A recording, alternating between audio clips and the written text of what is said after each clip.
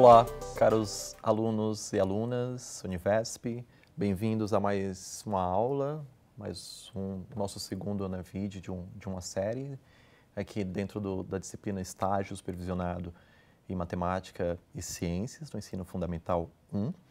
É, eu queria começar lembrando, na última aula a gente né, fez um, um, apanhado bem rápido, geral, lembrando para vocês daquelas principais atividades né, de estágio, né, a parte do reconhecimento escolar, da observação de aulas e, por fim, falando de um pouco de regência. E, e eu comentei que minha ideia né, daqui para frente é tentar focar um pouco mais em aspectos práticos da questão de regência, tá? E mais volta e meia eu, eu vou sim trazer algum algum suporte né, teórico para vocês, alguma coisa que, que, que te ajude a aperfeiçoar essa prática na regência. E, e vai ser, esse vai ser o caso dessa nossa aula de hoje. Hoje eu queria falar né, de um, um conteúdo né, específico né, que vai ajudar bastante vocês, aliás, é um, seria uma espécie de um conhecimento específico chamado, né, de, chamado de conhecimento pedagógico né, do conteúdo.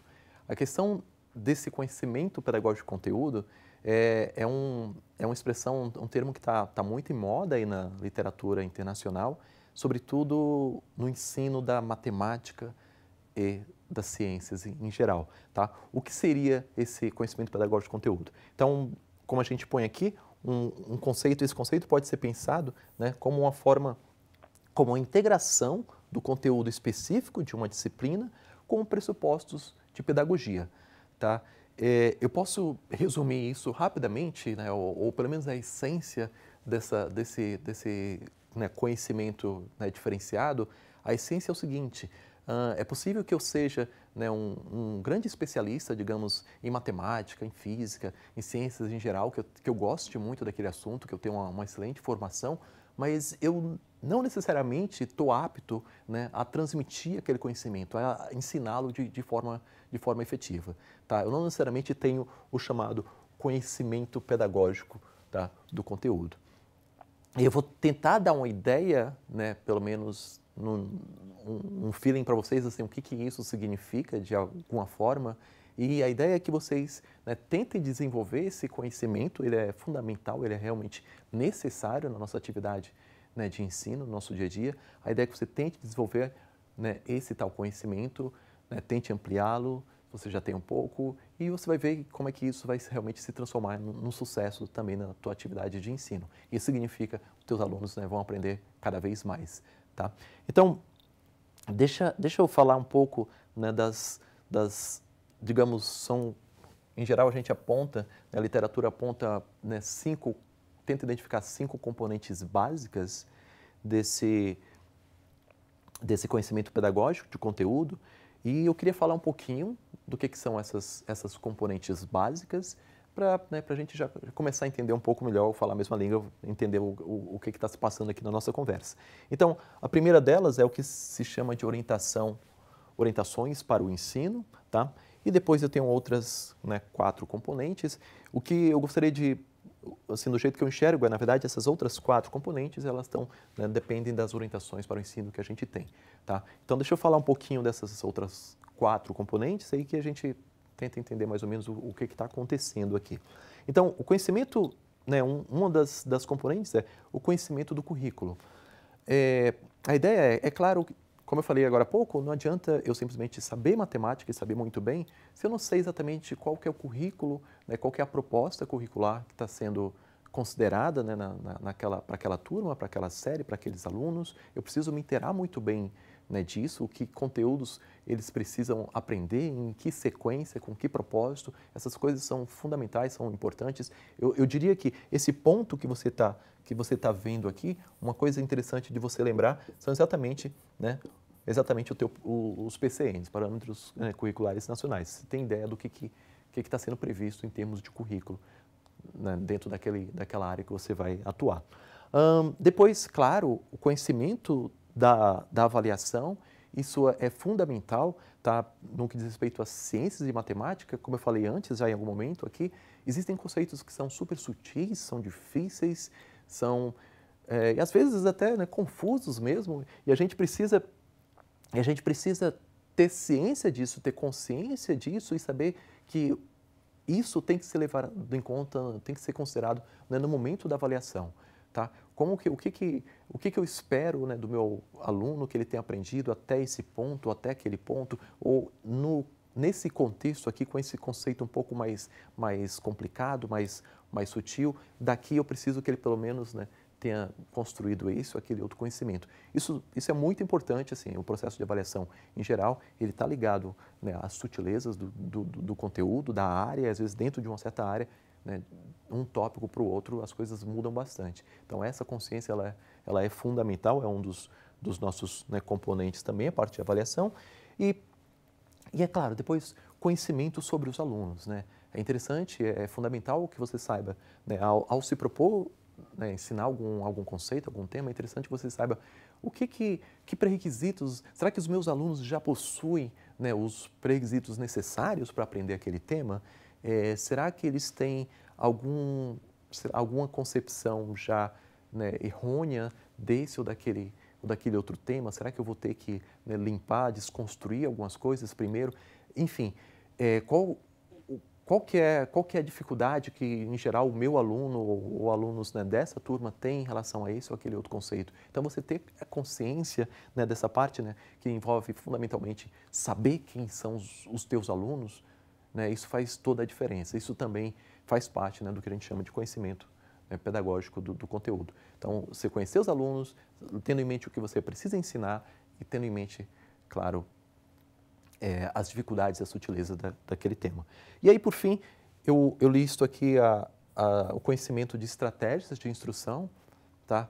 Isso eu acho que, que também se aplica bastante, é bem, é bem, é bem, é bem especial no caso de matemática e, e ciências, dependendo do tema que você vai ensinar, aquele tema ele necessariamente requer uma estratégia diferente, uma ou outra, assim, às vezes uma variedade de estratégias, mas elas têm que ser muito bem pensadas, tá? É impossível, né, dentro de, desse, desse contexto de ciências e matemática, você carregar uma única estratégia para ensinar tudo que aparecer, né, tudo que você tiver que ensinar. Isso, claro, simplesmente não vai funcionar. Você tem que pensar muito bem né, na estratégia de, ensino, de acordo, sim, com, com o tema que você está que você está abordando. Então, esses são, são, digamos, os componentes principais desse, desse né, chamado conhecimento pedagógico de conteúdo.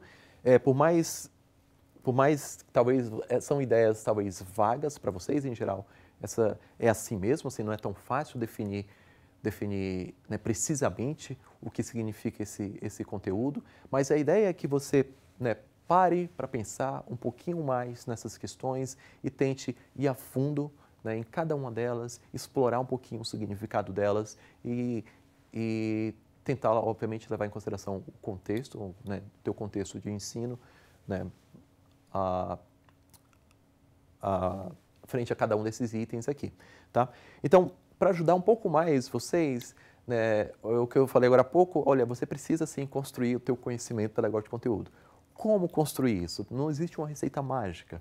Claro, como eu falei, tem uma série de sutilezas aí. Mas tem sim um procedimento que pode te ajudar bastante, que é o que eu vou propor, né? Na, já já, já na, na, no nosso próximo slide, eu vou propor que antes, né, por, por, como exercício para ampliação do conhecimento pedagógico de conteúdo, né, a gente pode, por ocasião do planejamento do ensino de qualquer conceito, tentar responder as seguintes perguntas. Então, eu vou listar várias perguntas aqui e essa é a minha proposta para você. Tenta responder essas perguntas, reflete depois né, não só sobre as perguntas, mas sobre as tuas próprias respostas e tenta ver como isso realmente se conecta né, de várias formas com aquelas componentes que eu acabei de mostrar para vocês. Tá? Se você faz esse, exercício né, continuamente, você vai ver que o teu, o teu conhecimento pedagógico de conteúdo ele vai, de fato, né, se ampliar, vai melhorar, vai ser lapidado cada vez mais. Mas, enfim, que perguntas são essas? Você vai estar preparando a tua aula, é natural que você, né, em algum momento, questione o que, que eu quero que os meus alunos aprendam com aquele conceito? Né? Qual, que é, qual que é a minha meta, objetivo né, ao estudar ou ensinar esse conceito? Né? Faça essa pergunta de verdade, seja crítico né, a esse nível tá? e tenta achar a melhor resposta para isso. Tem uma outra pergunta é, por que, que é importante para os alunos aprenderem esse conceito? Tá? Para que, qual a importância disso? Né? faça essa pergunta de verdade, né? E, e, e, eu te garanto, se você não fizer, em algum momento os seus alunos vão fazer, vão te perguntar isso, mas o que é natural. Mas enfim, tenta você mesmo né, começar por aí. É, o que mais eu sei sobre esses conceitos? Então, eu estou ensinando um, um, conceito, seja né, da ciência, seja da matemática, né, sei lá, vamos supor, estou ensinando frações, mas qual que é a profundidade do meu conhecimento naquilo? Será que, será que ele é suficiente? Será que, que ele é considerado né, razoável? Será que eu preciso me aprofundar mais? E, enfim, reflete um pouco sobre essa questão e sobre a importância disso, se, se for o caso. Um, e a gente, eu continuo aqui a minha lista. Né, quais são, de mais algumas perguntas, quais são as dificuldades e limitações ligadas ao ensino desse conteúdo? Tá? Cada conteúdo que você né, considera tem lá, assim, em geral, certas dificuldades. Né? Os alunos, às vezes, têm certos pontos que são sutis, os alunos sempre vão ter dúvida naquele ponto. Tá? Ou, ou, ou às vezes não, às vezes o conteúdo é muito tranquilo e todo mundo entende de, de, né, de bate-pronto. Então, lógico que isso vai depender, né, obviamente, do conteúdo em questão, mas a pergunta é sempre válida. Tá? Eu convido vocês a né, sempre fazê-la. Uh, que conhecimento sobre o pensamento né, dos alunos tem influência no seu ensino sobre esse conceito? Né? Aquelas concepções que os alunos já trazem antes, ou o que, é que eles acham né, daquele, daquele contexto, daquele assunto, digamos, como é que isso vai mudar um pouco né, a tua abordagem para o ensino daquele tema? Depois, que outros fatores influem no ensino né, desse conceito? Você tenta colocar esse conceito dentro de um contexto um pouco mais amplo e ver que outras variáveis né, podem né, ser consideradas ali que vão ter, de alguma forma, algum impacto naquele ensino ou no ensino daquele conceito. Um, depois, que procedimentos e estratégias né, você emprega para que os alunos se comprometam com a aprendizagem daquele conceito? Tá?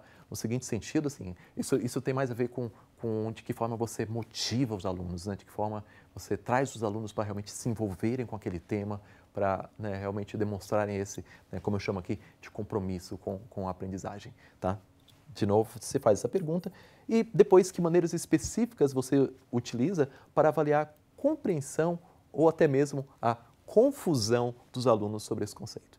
Tem conceitos que a confusão ela, ela é praxe, assim, muitas vezes o aprendizado ele acontece depois de uma confusão, tá? A confusão não é um problema em geral, muitas vezes é, é, é uma solução, tá? É normal que a gente fica, fique primeiro confuso e, enfim, fique né, pensando se é isso, se é aquilo, até que as coisas finalmente né, sejam esclarecidas. Esse, né, isso tudo acho que faz parte do, do processo de aprendizagem e é interessante né, você tentar identificar né, essas questões né, por ocasião da, da, avaliação.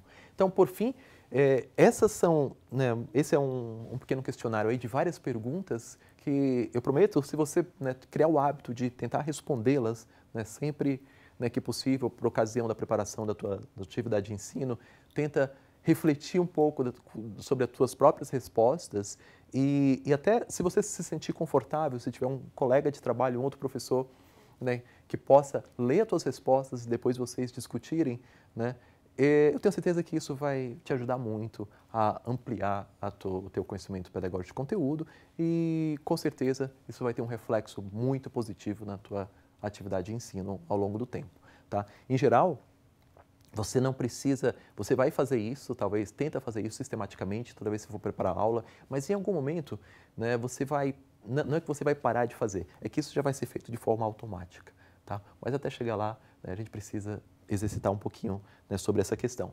E por fim, né, eu só, só, só reforço aqui para um, uma atividade para uma efetiva atividade de regência, dentre outras coisas, eu acho que é interessante sim construir o conhecimento pedagógico de conteúdo, né, nesse, nesses termos que a gente acabou de conversar agora, e, e claro, na medida do possível, né, você ampliar e aperfeiçoar né, cada vez mais esses, esses conhecimentos. Vocês vão ver que isso realmente vai ter um impacto, né, a expectativa é que isso tenha um impacto forte tá, na, na atividade prática de vocês. Tá? Então, eu queria né, que vocês carregassem um pouquinho disso, né, por enquanto, refletissem um pouco sobre essa questão e aí nas próximas aulas eu vou começar a ver aspectos mais específicos né, da preparação para o ensino, para a aula e onde isso, esse, esses, esse conhecimento, né, já vou já vou supor que a gente já está assim, né, carregando ele, enfim, já está tentando colocá-lo em prática, tá bom? Então caros alunos, eu paro por aqui hoje e espero vê-los em breve na nossa próxima aula.